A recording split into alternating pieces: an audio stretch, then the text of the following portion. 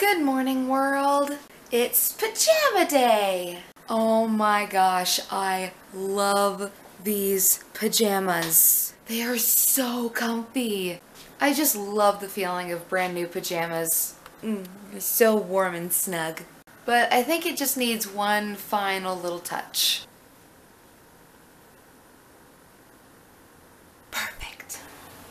So the weather is beyond crappy outside. It's ridiculous. It's snowing. It's like face-bitingly cold. And today was kind of frustrating, not gonna lie. I mean, working with kids, you're gonna get frustrating days every now and then.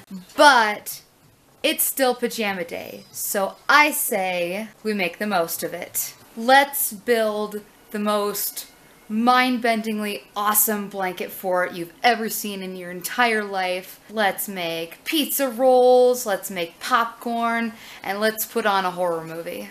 That's a good way to end this day.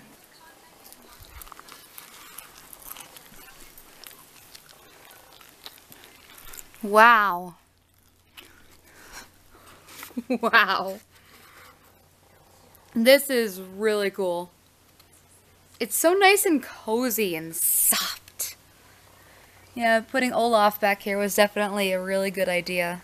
Ted and I just might sleep out here, because, you know, life's too short not to mix it up a little bit now and then.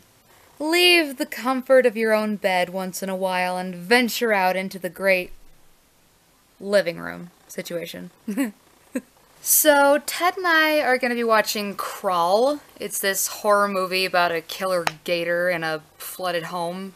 I, I don't know. I've wanted to see it in theaters, but ended up going to see the Lion King remake, which was a waste of money. Sorry, not sorry. But anyway, we're going to see it in our own little private venue here, so it's going to be so cool. And yeah, Pajama Day continues.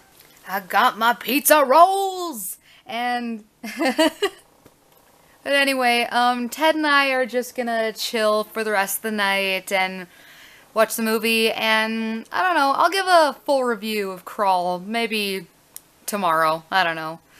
But anyway, we're gonna chill, and I don't know, probably camp out here for tonight. Might be, might be fun. But anyway, hope you guys have had a good day probably a better day than I've had, but I will see you later.